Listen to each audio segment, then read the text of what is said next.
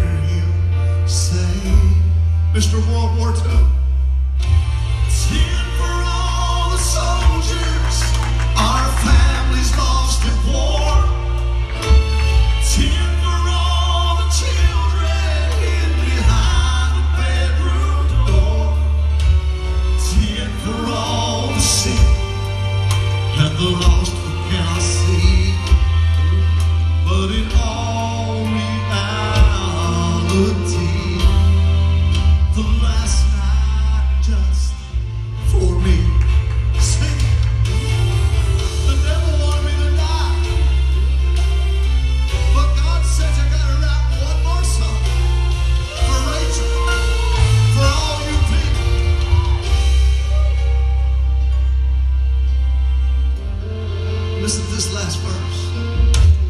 Father, please forgive them. They know not what they do.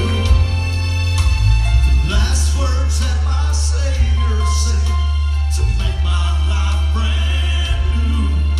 Our last and final hour as he bowed his head to die, He cried out.